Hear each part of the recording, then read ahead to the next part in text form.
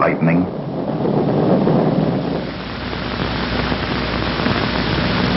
Maybe this has happened to you.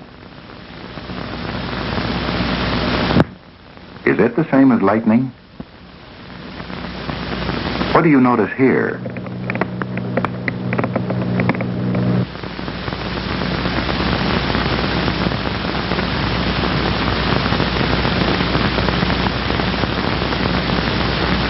And here, what is pulling the bulb?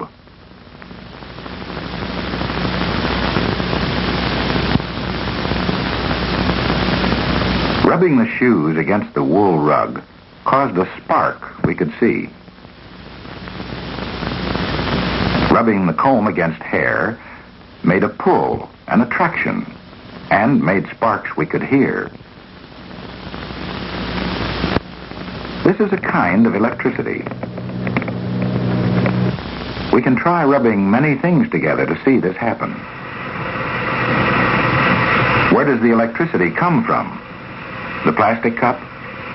The water? Is it in the balloon? The shirt? Is it in the wall? Experiments like these have helped scientists learn that electricity is a part of everything. Sometimes some of the electricity in one thing can be rubbed off onto something else. Then we say that thing is charged with electricity. It has extra electricity. That charge can attract or jump to something else as a spark or lightning. We can build a machine to rub two things together continuously. See what happens then. Does this remind you of lightning? What causes lightning in the sky? Perhaps now you can find out. Electricity we get by rubbing is interesting, but it isn't very useful. To make light for us, or heat, or to turn motors, we need electricity that can be controlled. Electricity that will flow when we want it to. How can we make it flow? We know we can get a current of electricity by using dry cells. With this meter, we can measure that current.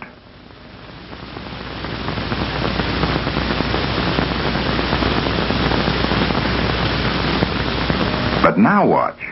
Here is a penny made of copper and a dime made of silver. Two different metals. Of course, there is no current flowing in the wires. And none in the coins either.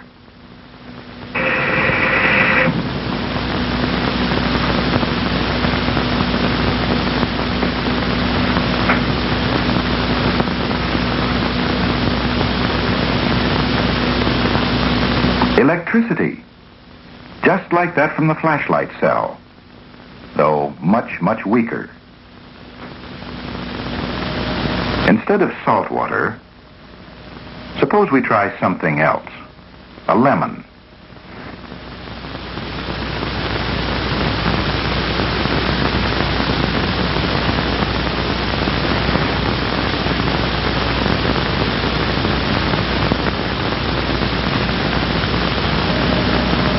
The two different metals can produce an electric current in lemon juice, too. This time the current is flowing the other way. How about two coins or metals that are the same? When the metals are the same, there is no flow of electricity. How about a nickel and a quarter? They are different metals. And let's try something else instead of the lemon.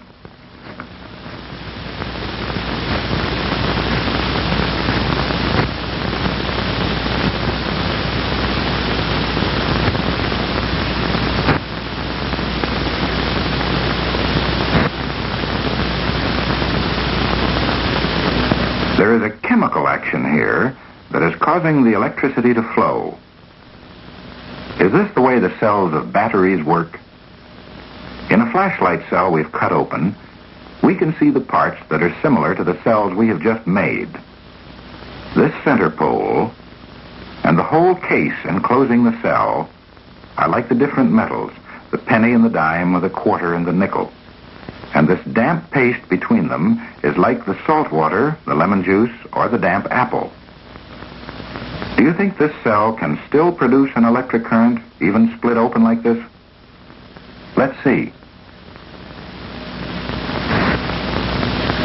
Can you tell why a current can still flow from this cell? Why breaking it open didn't ruin it? The electric cells we made didn't produce enough current to light a lamp, so we used a meter.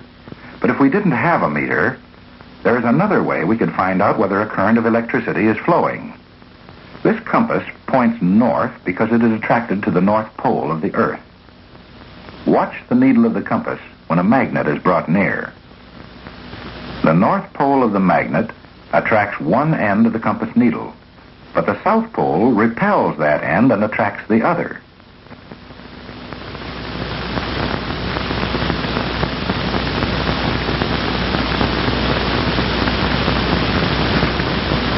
See if this wire has any effect on the compass.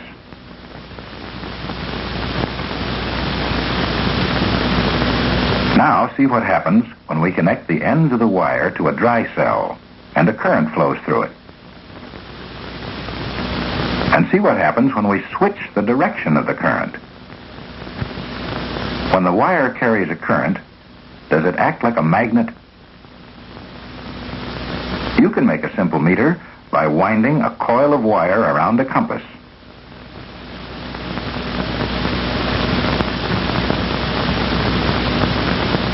Let's see if it works.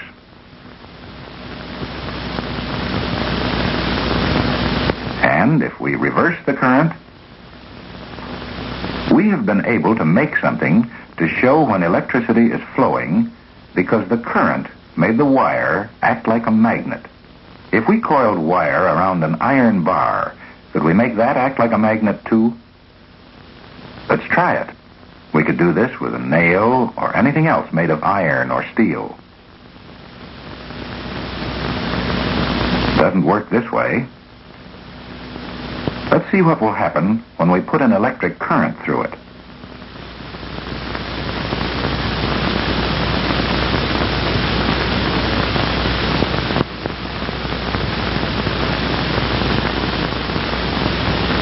Current isn't flowing yet. When we connect the other end of the wire, the current can flow.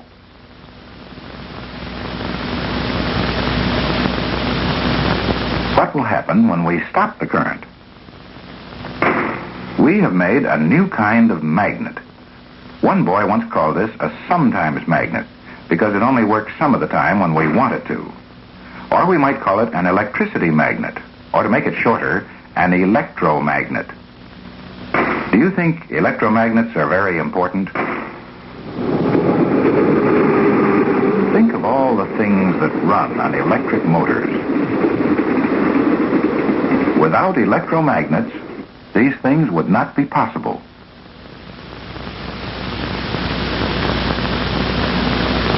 All electric motors, from the largest to the smallest, work in very much the same way.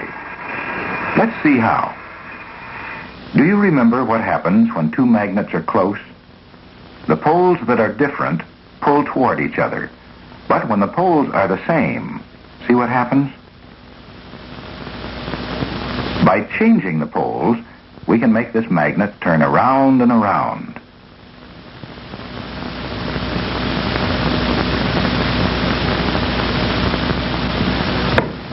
The poles of an electromagnet change every time the current is turned around. First north, pushing away the other north, pulling the south. Now switch, and it's south, pushing away the south, pulling the north.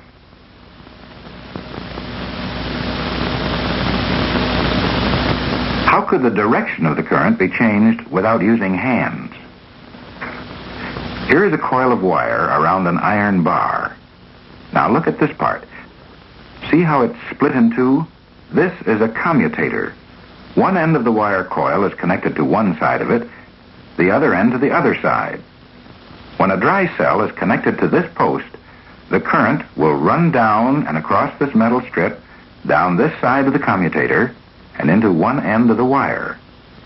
It will flow through the coil and come out the other side. But if we turn the coil, this metal strip or brush will touch the other side of the commutator and the current will go into the other end of the coil where before it came out.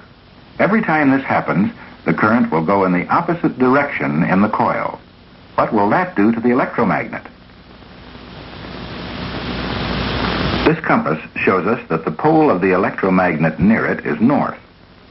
Now let's move the coil just enough so that the current will go in the other side. There. Now the pole has switched to south. Now north. Now south. If the south pole of another magnet were near, what would happen? Here we have placed the north pole of a magnet on one side of the coil and the south pole on the other. Let's pass a current through the coil and see how push and pull can make a magnet spin. This spinning electromagnet is called an armature. Electricity flowing into a motor made the armature spin. Now let's see if spinning the armature will make electricity flow out of the motor.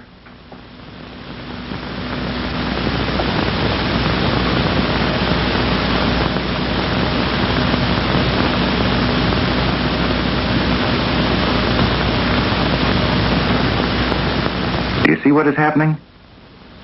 Would you like to know why? Here is a magnet and a coil of wire attached to a meter that shows when electricity is flowing. Suppose we put the magnet near the wire. The needle shows there is no current flowing. But did you notice something there for a moment? Let's try again. Watch the needle. There. And there again. Can you see what is happening? The meter doesn't show any current when the magnet isn't moving. But there is a flow of current when the magnet moves, and the flow in the other direction when the magnet moves in the other direction. Does it matter if the coil is moved instead of the magnet? A coil of wire, a magnet, and a way to turn one of them, and you have a machine to produce electricity, a generator. If you built this generator large enough, you could light an entire city. But of course, you'd have to find some other way to keep it turning. What are some other ways? Water power is one thing you might use.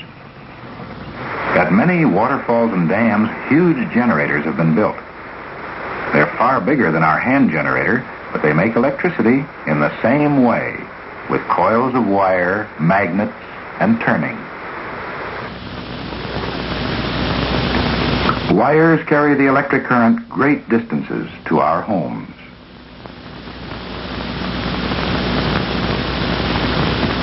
Electricity that can work for us.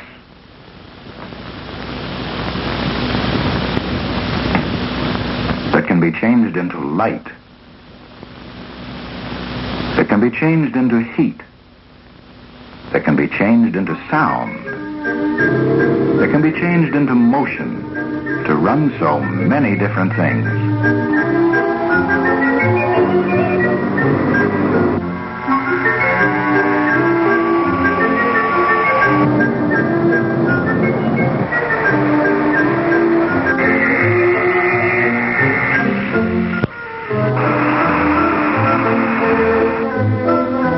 Even the machine showing this movie that can change electricity into motion, sound, and into light.